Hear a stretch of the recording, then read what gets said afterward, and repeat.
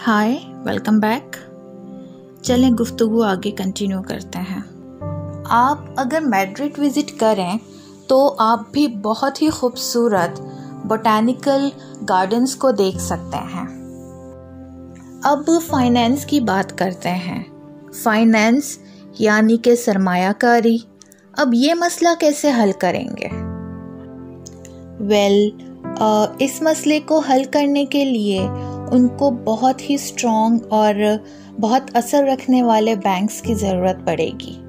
اور انہیں ان بینکس کو ان کمپنیز کے ساتھ سیدھ میں لینا پڑے گا جو ان تجارتی مواقعوں کو مینج کریں گی۔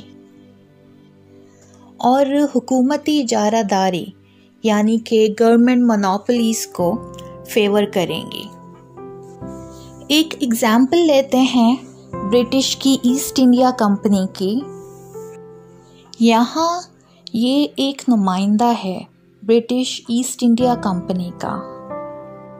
یہ کوئی سرکاری اہلکار نہیں ہے، یہ بس کمپنی کا ایک آدمی ہے۔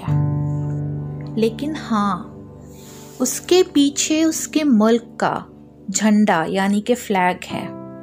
اور بے شک اس کی جو کمپنی ہے وہ انجوائے کرتی ہے۔ حکومت کی اجارہ داری یہ انڈیا کے شہزادے کے ساتھ ایک معاہدہ یعنی کہ کوئی ڈیل کر رہا ہے، کوئی سیونٹین ہنڈریڈ کے بیچ میں۔ تو آپ نے کہا تھا کہ آپ اپنی شپس کی پرابلمس کو سالو کر رہے ہیں۔ سائنس سے ریلیٹڈ مسائل کو حل کر رہے ہیں۔ سرمایہ کاری کا بھی سلیوشن نکال رہے ہیں۔ لیکن غور کریں کہ لیبر کا کیا؟ یعنی کہ جو ہمیں مزدور چاہیے، وہ کہاں ہیں؟ مجھے ایسے لوگ کہاں سے ملیں گے جو تجارتی امکانات کو ترقی دیں گے؟ اب اس کے لیے آپ جو ہیں وہ انحصار کر سکتے ہیں رضا کارانہ نو آبادیوں پر یعنی کہ وہ لوگ جو اپنی مرضی سے یہاں آنا چاہتے ہیں۔ اور یہ کام کرنا چاہتے ہیں۔